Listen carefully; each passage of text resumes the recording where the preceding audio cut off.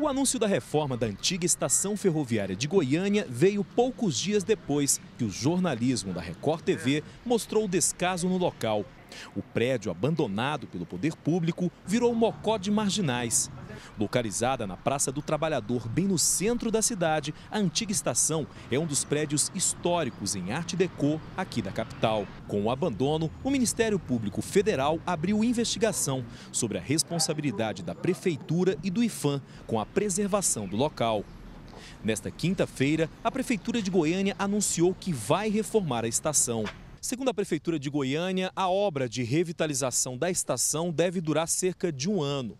A expectativa é que até o final do ano que vem, esse, que é um patrimônio histórico aqui da nossa capital, seja entregue à população. Os quase 6 milhões de reais para as obras de revitalização virão de um convênio com o Instituto de Patrimônio Histórico e Artístico Nacional, o IFAM e a Prefeitura de Goiânia. Quem vive do turismo em Goiânia diz que vê com tristeza o prédio da antiga estação ferroviária assim, largado. Patrimônio tombado, que foi tombado em 2003, é, quase 15 anos né, de tombamento e mais de 50% do, do, patrimônio, que são 22 prédios e monumentos, se encontram em, em total abandono. Guto acredita que só a reforma do prédio não é o suficiente. Tem que dar ocupação ao local. E que esse é um exemplo de muitos outros que estão na mesma situação. Nós temos o Liceu de Goiânia também, né?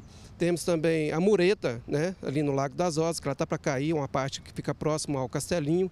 E temos também a biblioteca lá em Campinas, que é a Cora Coralina. Então são os monumentos que realmente foram tombados né? para serem preservados e estão num caso de descaso total.